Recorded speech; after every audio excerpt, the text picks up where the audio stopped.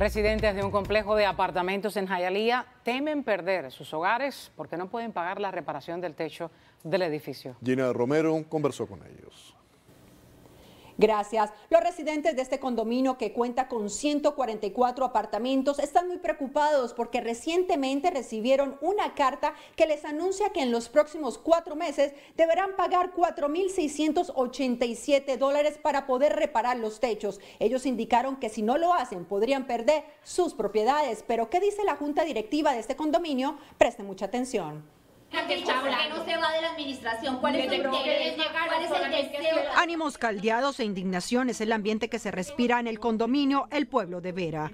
Algunos propietarios de los 144 apartamentos localizados en Jayalía señalaron a América Noticias que son jubilados y que no pueden pagar las cuotas que les exige la junta directiva del condominio para pagar los 675 mil dólares que cuesta reparar los techos del edificio. Siento muy mal por mí, por mi mamá que vive sola, que es una anciana y también yo quisiera, yo, quiero arreglar los techos y que arreglen todo esto, pero el préstamo está muy alto. Hay un historial de pago favorable. Las personas que no puedan pagar, va a haber un proceso, se debe hacer un proceso. Nosotros, como somos vecinos, nosotros no somos los enemigos de los propietarios, somos los que los representamos y estamos para representar sus intereses. Con lo que yo estoy en desacuerdo es con la cuota inhumana que nos están imponiendo.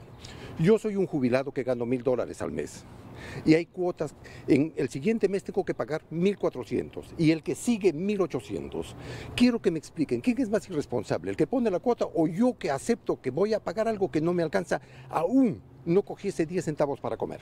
No, es que desde que esta asociación llegó ha sido solo problemas para Los afectados señalaron que la junta directiva les impuso cuatro cuotas por unidad y en una carta emitida el 11 de enero se puede leer que en 13 días deberán pagar 936 dólares, en febrero 2 mil dólares, en marzo 1.406 y en abril 468. Otros residentes aseguraron a América Noticias que también la junta directiva canceló el día de las elecciones, mientras que el secretario de esta junta asegura que no y que actualmente se encuentran en elecciones.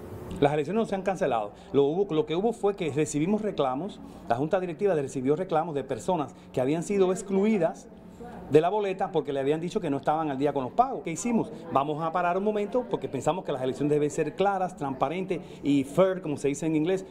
Actualmente las autoridades de Miami-Dade brindan asistencia financiera para ayudar a los propietarios a pagar los gastos de los arreglos que surjan cuando se necesite volver a certificar los edificios. Si es un individuo y gana menos de 95 mil dólares al año, 95 mil 620, eh, una pareja que gane menos de 109 eh, mil 200, una familia de cuatro como la mía, eh, que ganes menos de 135, eh, perdón, 136.500 eh, dólares al año, eh, puedes calificar para un préstamo de hasta 50 mil dólares.